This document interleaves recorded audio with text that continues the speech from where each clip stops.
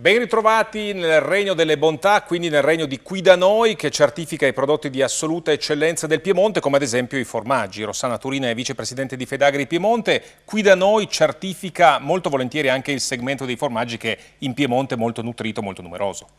Assolutamente, infatti anche i formaggi, come per esempio i vini, eh, hanno fatto da traino per questo che è il nostro progetto. Questi formaggi ad esempio si trovano già presenti in tutti i punti vendita qui da noi, quindi questo è molto importante e significativo.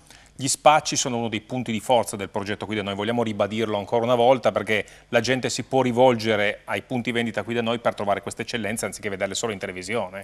E certo, questo è anche il nostro obiettivo, e cioè, insomma, è auspicabile che vedendoci in televisione poi venga la, la curiosità e l'interesse di cercare i punti vendita qui da noi che potete identificare sul nostro sito www.quidanoi.coop in modo da arrivarci il prima possibile.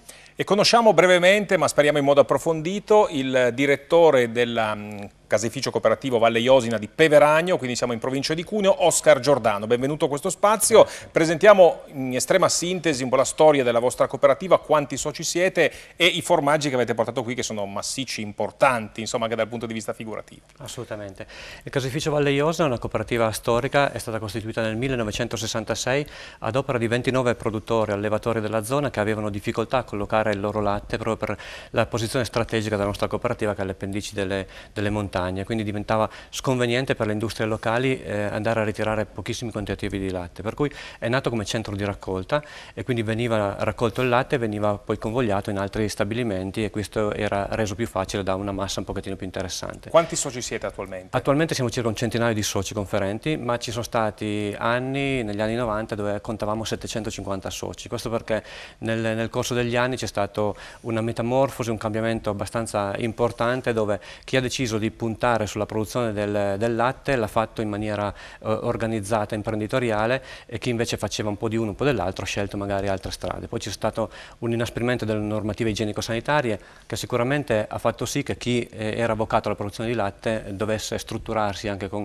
impianti e attrezzature di una certa levatura per cui servivano ha scoraggiato le improvvisazioni. Presentiamo brevissimamente i formaggi in chiusura di questo spazio. Ma I formaggi sono i quattro formaggi DOP che il caseificio Valle Iosna produce, tra l'altro il caseificio Valle Iosna è il maggior produttore di questi formaggi. Sono formaggi DOP, quindi denominazione di origine protetta, hanno un riconoscimento a livello eh, comunitario. Braduro è braduro di alpeggio, perché il nostro è un braduro di alpeggio, è fatto con latte crudo, quindi una stagionatura prolungata almeno, eh, se, almeno sei mesi. Poi abbiamo il raschera, che è una peculiarità non solo per la forma quadrata, ma proprio per la tipicità e il profumo e l'aroma di questo tipo di formaggio. Il tono piemontese, che è quello che può essere prodotto in, in, un, in una zona decisamente più ampia, perché si può produrre in tutto il Piemonte, mentre gli altri hanno un'area geografica più circoscritta, e il bratenero, che è sempre della famiglia del bra, però è fatto con latte pastorizzato, una stagionatura di 45 giorni. Quindi grandi formaggi per i gusti degli appassionati e anche di chi ama il formaggio, che è molto buono, molto goloso, attira molto. Ringraziamo